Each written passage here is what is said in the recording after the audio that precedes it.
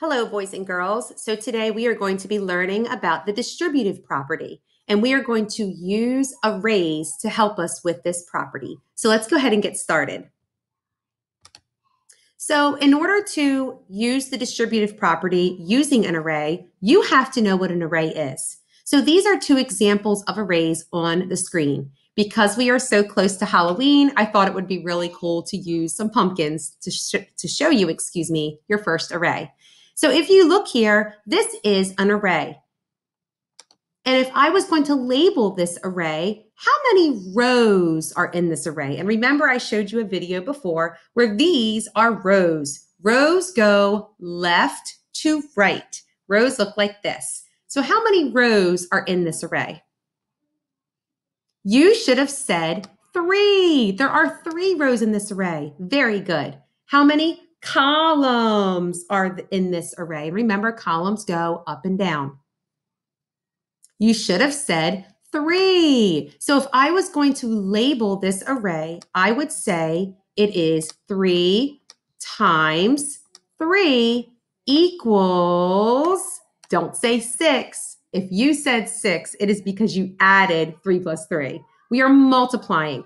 Three times three, three, six, nine is the answer. Very good. So I'm going to give you 30 seconds to, in your brain, label the colorful circle array and come up with the multiplication equation that matches it. Go ahead.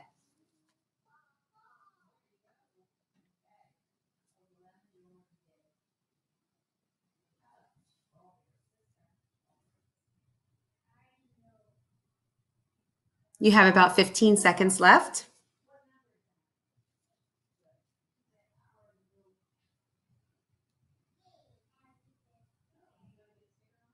Okay, so if I was labeling this array, I'm first going to start with the rows. Remember, rows go left to right. I see one, two, three, four, five. I'm going to label this with a five. And your columns go up and down. One, two, three, four. So I'm going to label this with a four. And I really um, am comfortable multiplying with five because remember, we have learned that you can count by fives when multiplying with five. So I'm going to choose to use the fives to find this out. So my equation would be 5 times 4 because we always start with our groups, which represent our rows. 5, 10, 15, 20. So my answer is 20. So we're going to continue using this idea as we move through the slides. So let's get started. Okay, let me clear off what I had. I'm so sorry. There we go. Okay, so we are going to be learning a word today. What does it mean to distribute? That's a big math word, distribute. Distribute means to divide or give a share or part of something. Mrs. Raleigh had 21 pumpkins in this array, and there's her array right here.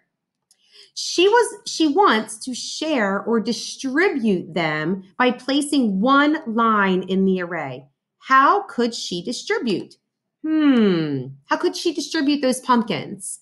So let's think about that. She has 21 pumpkins there. She wants to share them just by placing a line in the array.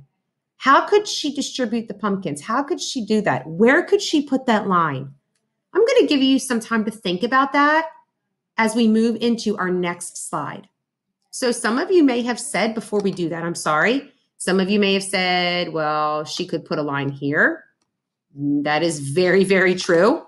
Some of you said, could have said she put she could put a line here so boys and girls, as you can see, there are several different ways that you could distribute this array. So we're going to take this concept further as we move on to our next slide. Okay, what is the distributive property? It is a property in which you can break apart numbers to use your friendly numbers to make equations easier to solve. For example, it is basically breaking apart a larger number into smaller numbers. Let me give you an example here. Let's say that your teacher gave you this multiplication equation. Oh my goodness. If you did not have your facts memorized and you got that equation, it might be very scary because you're like, I have to either draw I have to draw 12 groups and put nine in each, or I have to skip count by nine or skip count by 12. That is very difficult to do, even for an adult. So, this property we're learning about is going to teach you how to break apart this number or this number. And we're going to get into that further. I just kind of wanted to show you what it's going to, what essentially your, your goal is to get to. So, let's begin. Okay, for example, here is Mrs. Raleigh's array again. There's all her pumpkins. And the first thing we're going to do, what good mathematicians do, are we are going to go ahead and label this array. So remember, you start with your rows. One, two, three, four, five, six, seven. You're going to put your seven there. How many columns? One, two, three. We're going to put our three there. And up here, this is how we're going to organize our information. So we know this is a seven times three array, okay? Just like the video or just like the, the screen I showed you, we now want to distribute these pumpkins. We want to break them apart. So I think I want to break them apart here. So I broke apart the rows. I did nothing with the columns. So what that means is my columns are staying the same. My columns are staying the same. So I will now create two multiplication equations where my columns stay the same. Three, three, three, three. There it is. But what I did do is I broke apart my rows. I no longer have a seven times three array. I now have, and I'm going to use a different color, a four, one, two, three, four, and a three. But four plus three is seven. So all I did was broke up that seven into a four and a three. So if I come down here, I have a four by three and a three by three. The only thing I did was broke apart my rows. Easy peasy. And let's check to make sure this works. 7 times 3 is 21. 4 times 3 is 12. 3 times 3 is 9. If I add 12 and 9 together, I get 21. So I did a great job. Let's continue. And I'm sure you guys right now, your mind is probably blown. Like, Mrs. Bushy, this is so cool. But we're going to keep on trucking. I want you to keep staying focused. Here we go. So we're going to do another one together using that same organizer. So here I have a array of stars. The first thing I'm going to do is label my array. Obviously, I have two rows. I have one, two, three, four, five, six, seven, eight columns. So I'm going to come over here and right up top, two times eight. And now I'm going to break apart or distribute my array. I'm going to put a line here. So if you noticed, I did nothing with my rows. I did nothing with my rows. So my two, two, that represents my two rows does not change. However, I broke apart my columns. So now I have one, two, three, four, five, six. I'm going to use a different color like I showed you before. I have six columns here and two columns here. So now I have a two times six Na2 times 2. And I'm going to see if it works. 2 times 8 is 16. 2 times 6 is 12. 2 times 2 is 4. If I add those numbers together, I do indeed get 16. So I did it correctly. Great job, boys and girls. Let's keep on moving. Okay, and there was there is another example now where I am not, I did not break it apart, I broke it apart the same way as before. I want to see if you remember what to do. So I need you to get out a piece of paper and a pencil. I would like you to use the star array to fill in just the boxes. Boys and girls, do not worry about that long equation at the bottom. That can be very, very scary all I want you to do is to make some boxes like I have here and fill in. Remember, the, fir- the big equation goes up top and how you broke it apart goes at the bottom. I'm going to give you 30 seconds to fill in these rectangles. Go ahead, please.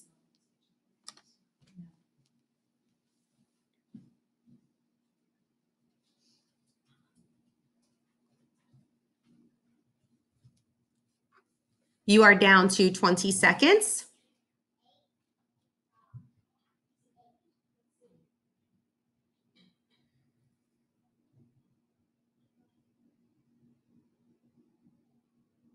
Okay, boys and girls, so up top here in your rectangle, you should have labeled it as a 2 times 8 array that represents the 2 times 8 array, the big array. But then I drew that line here. I distributed my array. Now I have 2 times 6. That represents that part of the columns. And then over here is a two. You should have had two times two. So that is what your graphic organizer should have looked like. So now we're going to come down here and show you how to represent that graphic organizer into a beautiful third grade equation. So the first equation is where you put the big array before we broke it apart. So before we distributed it or broke it apart, like we know, it was it represented 2 times 8. But then we did we broke it up into two smaller arrays as shown here. Look how easy this is, guys. All you're doing is copying it back down into the equation. Look at that. It looks scary, but I promise you it is not. So that is what it is going to look like. If you notice, same thing as I have been sharing with you. We did nothing with the rows. If you notice, the rows did not change. We broke apart. I'm changing my color again. The columns, and if you notice, they got broken up into a six and a two. And if I add six plus two together, I get eight. Very good. Let's keep on trucking. Okay, once again, now we're going to do this with you trying your best. So the first thing I want you to do is on your piece of paper, we're just filling in the first equation or the first part of this big distributive property equation. Remember what goes here. The whole array, the entire array goes here. So I'm going to draw a line to remind you of that. The whole entire array goes here. Go ahead and take 10 seconds to write down what equation matches the entire array. Go ahead.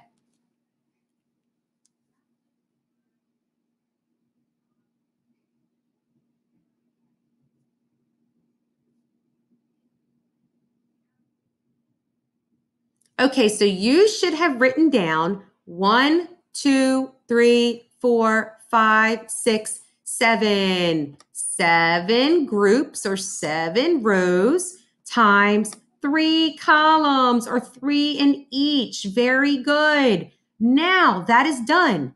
If you notice the columns, that three, I'm not doing anything to those columns. My line is not going up and down. So you can go ahead and fill in your three in the next part of the equation. It is not changing because I'm not breaking apart my columns.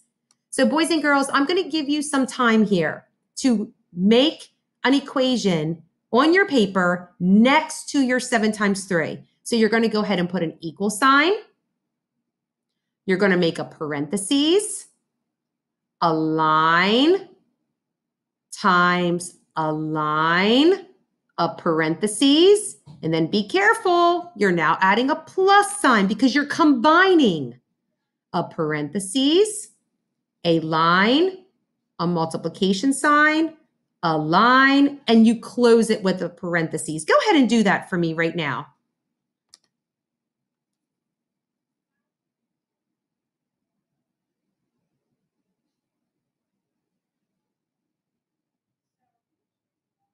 Okay, so we didn't break up those columns, but they broke up that seven. They broke up the seven. The seven has been distributed. So now we have a one, two, three, four, five. And down here we have two. So you're just going to put that information down here. Five, two. And if you want to check, five plus two equals seven. So we had it right. But now you want to check again to make sure this equation makes sense.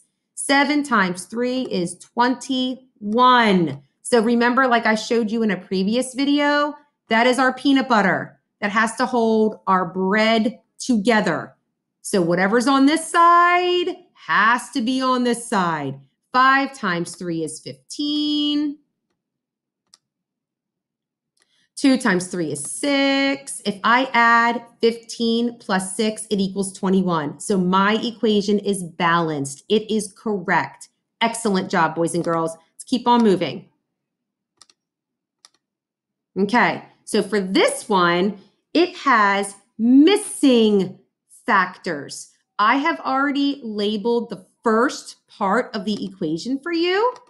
Five times four which matches five times four. And if you notice, the, the rows did not get broken apart. We know that because there's no line going from left to right. So that five stayed the same. However, and let me change colors here, the four, the columns did get broken apart. See if you can figure out what number or factor goes here what factor goes here? Go ahead and write them on your paper. You have to use the array to help you.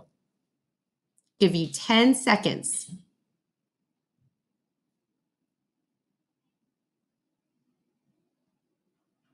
So you should have said one because of one column goes here. And you should have said three for these three columns goes here. And boys and girls, you all know 1 plus 3 equals 4. So we were correct. Now let's check our multiplication. 5 times 4 is 20. 5 times 1, because we know our rule with multiplying 1 is 5. 5 times 3 is 15. If I add 5 and 15 up, I get 20. So we were correct. Excellent job again, boys and girls. Okay, so now that you are done watching the video that I created about the distributive property, your job is to go onto Seesaw and you are going to look for this lesson, color-coded distributive property activity. You are doing exactly what I just modeled for you, but I really tried to support you with this by making it color-coded. There are two pages. The first page, I am giving you an example I am modeling for you. So boys and girls, I hope you enjoyed this video and I hope it will help you with the distributive property. Have fun.